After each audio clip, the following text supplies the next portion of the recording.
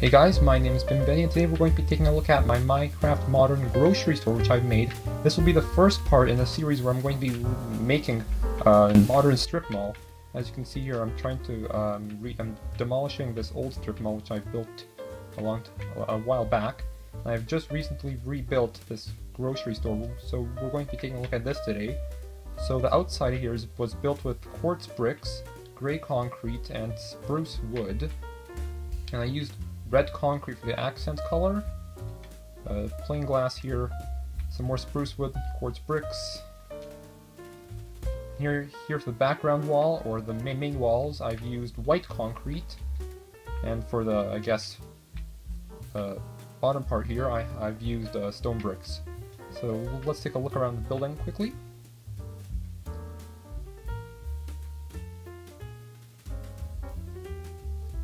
Uh, I will be demolishing this and rebuilding it with something new, which I'll show on, on a later date.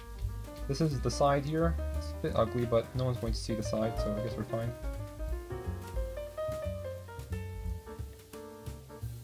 Okay, so let's enter the building. Okay, so these glass doors are part of a custom texture pack which me and someone else have developed.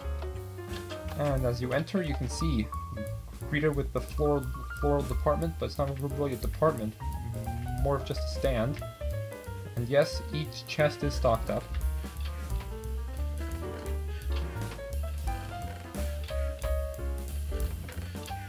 Here we have our uh, fresh foods slash produce department, and I've used um, lanterns here to create a, a, more rustic look, and to also have some more lighting. So we have some wheat here, potatoes, beetroot, carrots, apples, and melons. Uh, here we have sweet berries, mushrooms, red mushrooms, sugarcane, bamboo, and kelp. Above here, I made this with, I believe, uh, stripped spruce wood and uh, end rods. Here we have, like, an actual grocery store. They have, like, buckets of melons and pumpkins. I used spruce wood to make a stand to hold these up.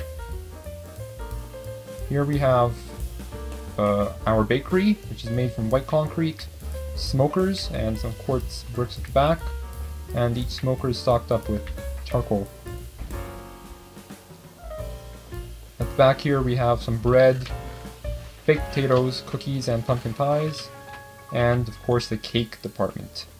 Lots of cake, as you can see. Cake, cake, and more cake. Here we have the meat department, same thing as the produce department, except, well, meat. Assorted fish, uh, rabbit, mutton, beef, pork chop. Uh-oh. Well, let's fix this. And chicken. Raw chicken. And you should probably cook the chicken before you eat the chicken, so that's why we have a bakery here. Next is the pharmacy. You can place your prescription here.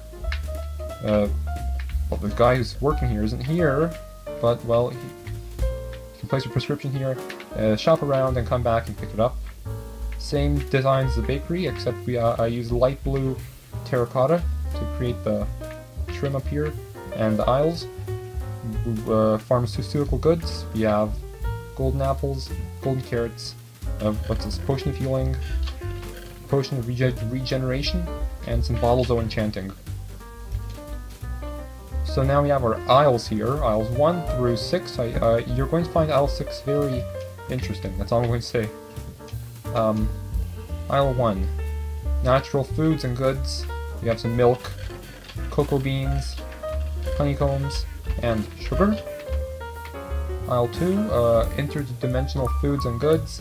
So we have nether warts, ghast tears, blaze rods, and what's this? Oh, no. Chorus fruit. Let's fix this. Yeah, that looks correct.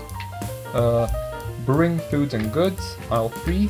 Dragon's Breath, I'm not sure how you get a dragon to breathe in a bottle, but okay.